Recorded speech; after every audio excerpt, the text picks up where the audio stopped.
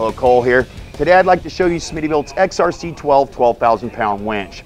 This is a powerful winch. It's got the power to handle the toughest of jobs or get the heaviest of trucks and trail rigs out of any situation you might encounter out on the trail.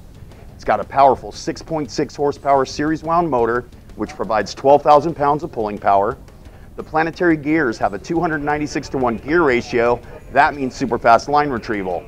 Everything you need to start winching is included in the box with this winch. The roller fair lead, the hook with safety strap, the wire rope, and the remote control. If you'd like more information on the XRC12, give us a call or visit us online.